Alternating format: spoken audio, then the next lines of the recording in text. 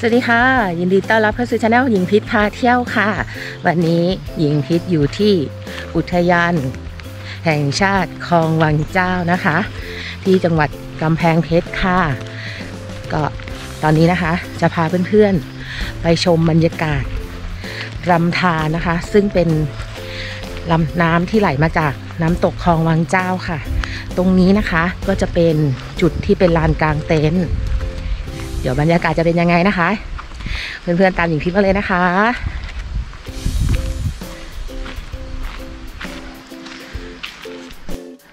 เพื่อนๆเเมื่อเพื่อนๆนะคะ ผ่านด่านแรกเข้ามาใช่ไหมคะ เป็นจุดชำระเงินนะคะ แล้วก็เขาก็จะถามว่าเราจะมากางเต็นท์หรือเปล่า ถ้ากางเต็นท์นะคะเขาก็จะคิด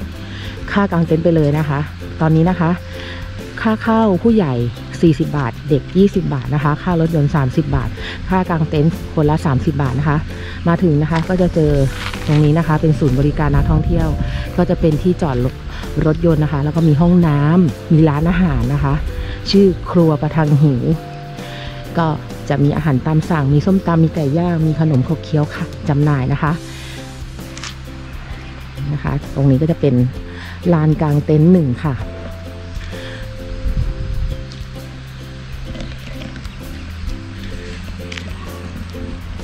ในส่วนของลานกลางเต็นท์นะคะ ก็จะมีบ้านพักด้วยค่ะ บ้านพักก็จะมีทั้งสองฝากฝั่งนะคะ ฝั่งที่หญิงพิษยืนอยู่เรียกว่าเป็นฝั่งของจังหวัดกำแพงเพชรนะคะ จะมีสะพานแขวน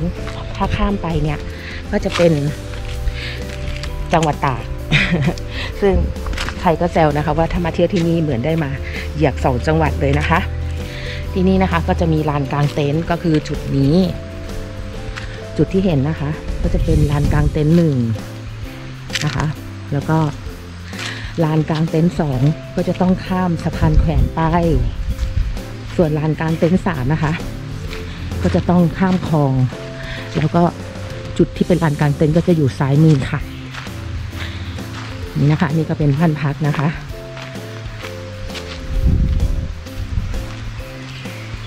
จะให้ชมบรรยากาศ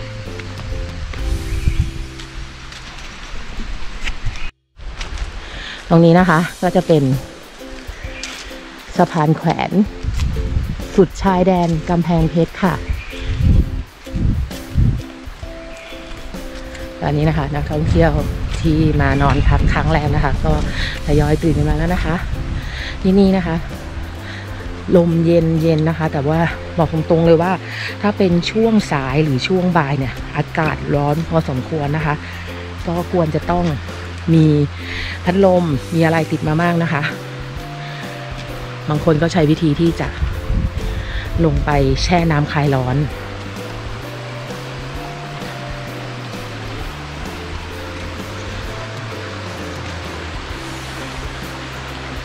นี่นะคะบริเวณลำธารนะ เป็นน้ำที่ไหลมาจากน้ำตกคลองลังเจ้าค่ะ เป็นจุดที่เขาอนุญาตให้เล่นน้ำได้ค่ะ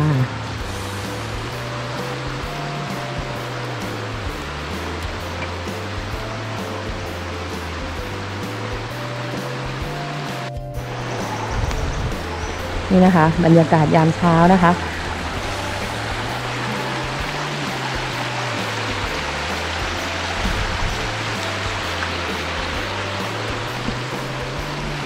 สำหรับใครที่กลัวความสูงก็ต้องใช้ความระมัดระวังนะคะ แต่ก็เดินไม่ยาก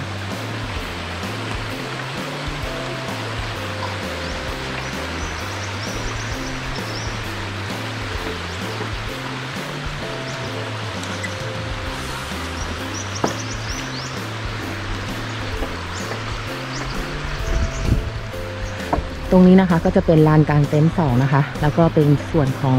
บ้านพักของอุทยานอีกฝั่งนึงนะคะ ซึ่งหญิงพิดได้ถามเจ้าหน้าที่แล้วค่ะว่าถ้าจะมานอนบ้านพักฝั่งนี้ แล้วเราเไม่เดินข้ามสะพานเนี่ยมีทางอื่นอีกไหมนะคะ เจ้าหน้าที่บอกว่าแต่เดิมเนี่ยเคยมีทางรถนะคะ แต่ว่าน้ำอะมันได้พัดพัดผ่า ทำให้เส้นทางอะมันชำรุดไปนะคะ ก็จะต้องใช้วิธีการขนของข้ามสะพานแขวนตรงนี้นะคะ เพื่อที่จะมาบ้านพักตรงจุดนี้ ถ้าใครจองบ้านพัก ฝั่งนี้ก็อาจจะต้องเตรียมพวกรถเข็นหรือช่วยกันขนเหนื่อยเอาเรื่องนะคะ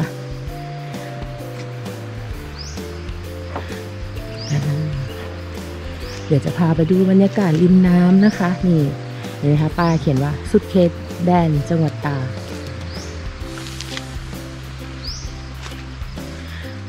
เจ้าหน้าที่ที่นี่นะคะ บริการดีนะคะ ห้องน้ำก็มีบริการหลายจุดอยู่ แต่ว่าจุดที่อยู่ตรงกลางนะคะ ตอนนี้ยังไม่ได้เปิดให้บริการนะวันที่หญิงทิพย์มานะคะ คิดว่าถ้าเปิดให้บริการเมื่อไหร่ก็น่าจะสะดวกสบายมากยิ่งขึ้น ไม่ต้องเดินขึ้นไปไกลค่ะ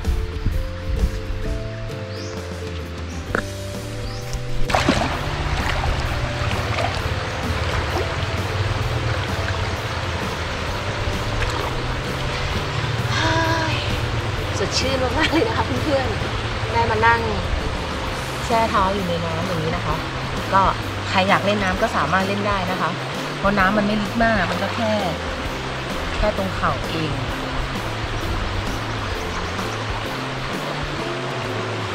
แต่ต้องระวังพวกก้อนหินนิดนะคะ เพราะว่าก้อนหินนี้มันจะเยอะพอสมควรก็ระวังลื่น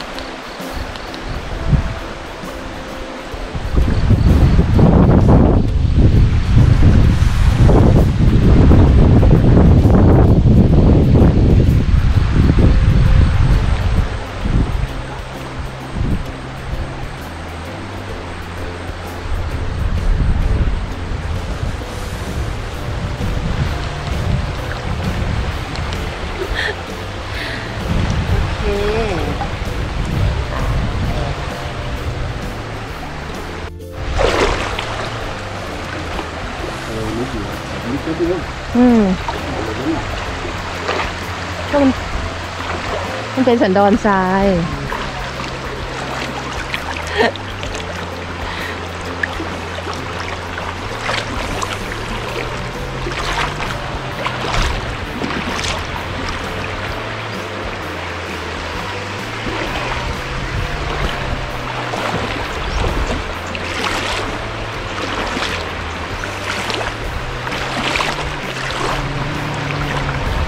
ทำไมได้ยินเสียงหมาวะ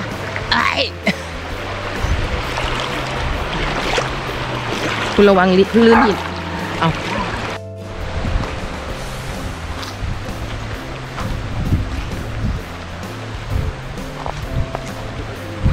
หืมจุดหนึ่งที่หมอกใช่ไหมอืมอืมก่อนที่เขาจะทำพิธีอะ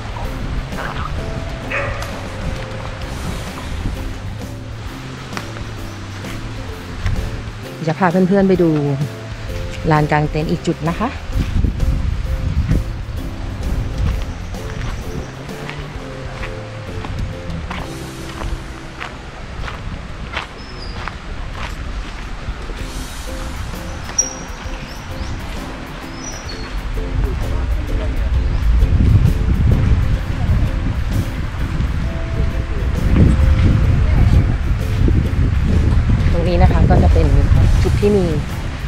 แขวนอีกจุดหนึงนะคะ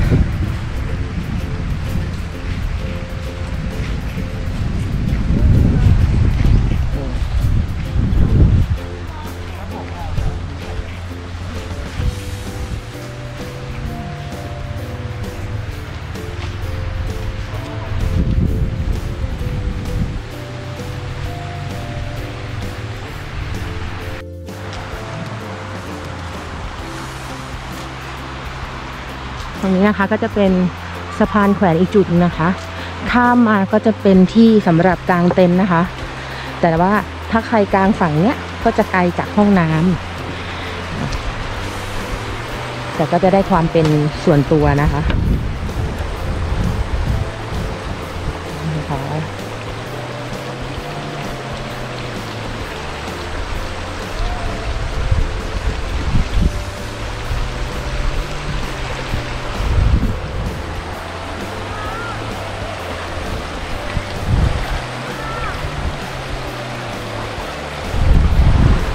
พอตรงจุดที่เพื่อนๆเห็นฝั่งอีกฝั่งหนึงนะคะ ที่เป็นสะพานปูนเนี่ย ฝั่งนู้นก็จะเป็นลานกลางเต็นท์อีกที่หนึ่งนะคะ ก็สามารถไปกลางเต็นท์ที่นี่ได้นะ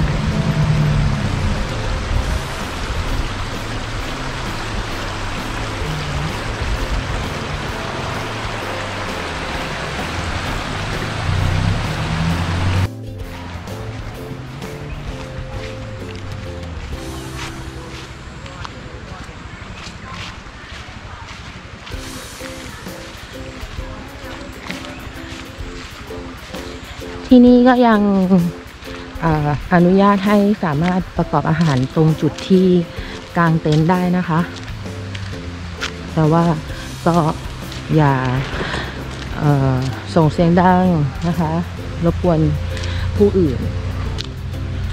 แล้วก็จะมีเจ้าหน้าที่คอยตรวจตลอดเวลานะคะ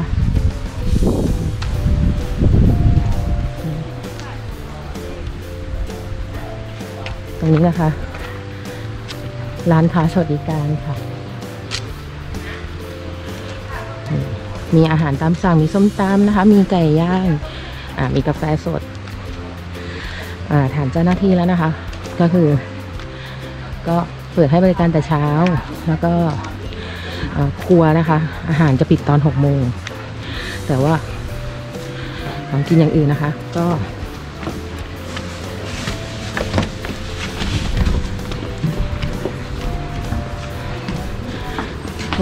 เครื่องดื่มพวกขนมนะคะ ก็จะปิดสองทุ่ม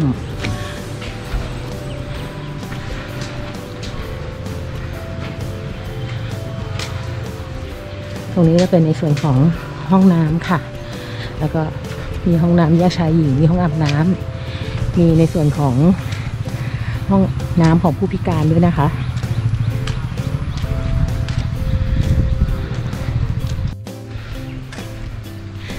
EP นี้นะคะก็พาเพื่อนๆมาชม อุทยานแห่งชาติน้ำตกของวังเจ้านะคะ ก็ฝากกดไลค์กดแชร์ เป็นกำลังใจให้กับหญิงพิพาเที่ยวด้วยนะคะ แล้วก็ EP หน้านะคะ หญิงพิจะพาไปเที่ยวที่ไหนก็ติดตามกันด้วยนะคะ EP นี้ไปแล้วค่ะบ๊ายบาย สวัสดีค่ะ